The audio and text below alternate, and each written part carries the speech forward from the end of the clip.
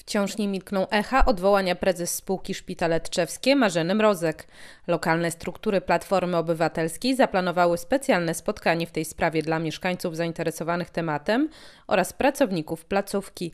Zaproszono także decydentów. Szef lokalnych struktur Platformy Obywatelskiej Adam Kucharek pytania zadawał jednak do pustych krzeseł, bo ani z zarządu powiatu, ani rady nadzorczej spółki nikt się nie pojawił. Działacze PO chcą wiedzieć, dlaczego jedyną odpowiedzialną za sytuację finansową szpitala ma być dotychczasowa prezes, a nie również jej zastępca, Zenon Żynda i Rada Nadzorcza. Lokalni działacze zastanawiają się również, czemu nagłego odwołania nie konsultowano z Radą Powiatu i załogą szpitala. Y, najpilniejszą sprawą jest, dlaczego jest odwołana pani Mrozek przed okresem rozliczenia, czyli przed dniem 31 marca. Dlaczego jest odwołana, gdy otrzymała absolutorium dlaczego jest odwołana, gdy miała pozytywną y, opinię z NFZ-u. To są główne, główne pytania, zarzuty do e, zarządu, czyli do właściciela. Dlaczego nie poinformowano Rady, tylko dzień po Radzie odwołano panią, panią prezes bez podania przyczyn Radzie. I uważam to za formę taką skandaliczną. Nie, nie powinno się y, po prostu, powinno się y, przynajmniej poinformować radnych o takim, o takim zamiarze. Znaczy stanowisko nasze jest bardzo, bardzo jasne. Rada y, nadzorcza jest od pilnowania finansowych spraw spółki, od pilnowania spraw merytorycznych, żeby spółka mogła działać sprawnie. Po to jest ta rada, żeby jej pomagała i doradzała.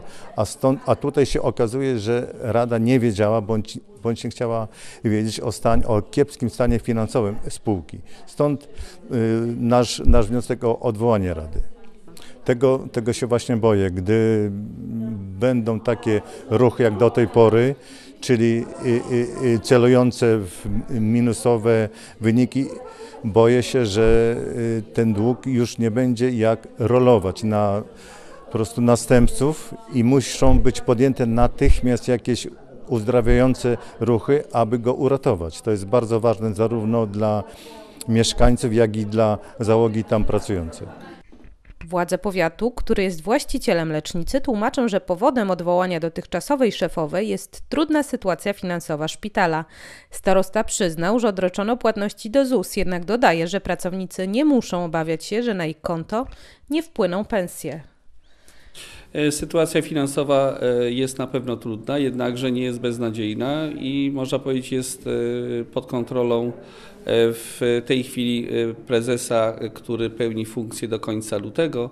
Natomiast jeśli chodzi o zobowiązania szpitala, oczywiście one są, jednakże nie zagrażają w żadnym stopniu tymi tymi, tym podstawowym obowiązkom, czyli wynagrodzenia czy też podstawowe płatności szpitala.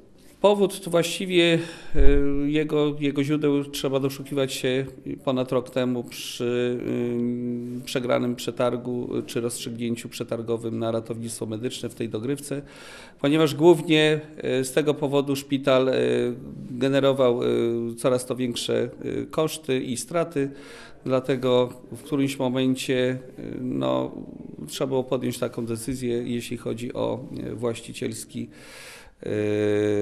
nadzór i, i taką decyzję zarząd yy, powiatu podjął.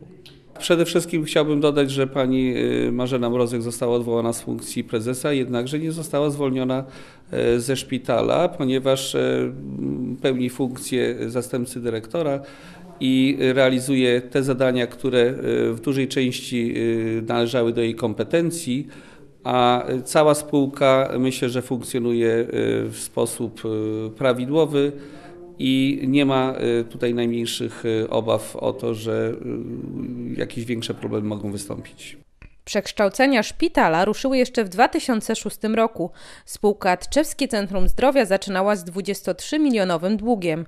Później szpital udało się oddłużyć, a w międzyczasie wykonano szereg inwestycji. Właśnie za prezesury Marzeny Mrozek zakończyła się najważniejsza, czyli przeniesienie całego kompleksu szpitalnego na ulicę 30 stycznia. Zadanie realizowano dzięki unijnej pożyczce Jessica. Nazwisko nowego prezesa powinniśmy poznać do końca lutego.